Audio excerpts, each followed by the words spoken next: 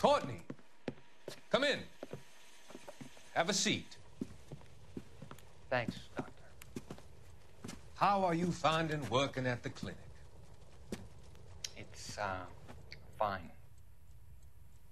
Are you sure? Can I be honest with you, Doctor? I would hope so, Courtney. I was hoping that the therapy would be more beneficial. Treatment can unfortunately be very long term. So many of the patients here are addicts, Doctor. Many of them have been for years, Courtney. In the past, these people were condemned to sanatoriums. If we can reveal the root of the problem, then we have a chance to help them. And until then, they stay sedated? Do I detect a hint of reproach, Courtney? I was expecting more, Doctor. I'm sorry. I don't mean to criticize.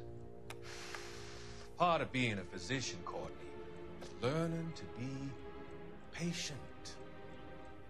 How is it possible to keep so many of them on their medications, Doctor? Many of their addictions are illegal. Oh, many things in life are gray, Courtney. What may on the surface appear to be illegal is actually of benefit to society at large.